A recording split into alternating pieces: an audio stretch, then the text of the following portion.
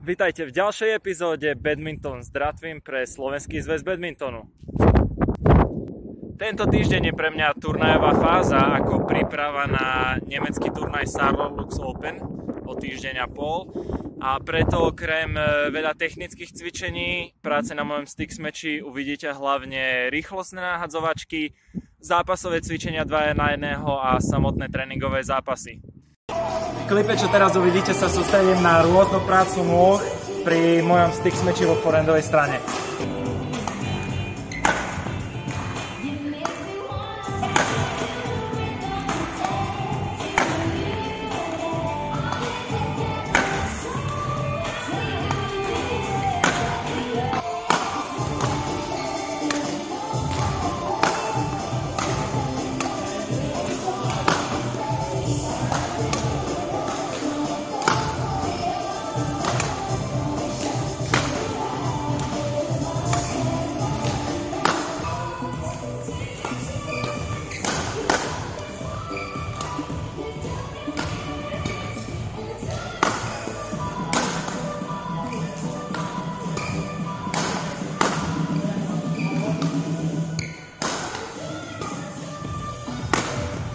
Následujúcej chvíli uvidíte e, zábery z e, nahadzovačiek z tréningu multifeedingu, kde prejdem 4 rôznymi cvičeniami.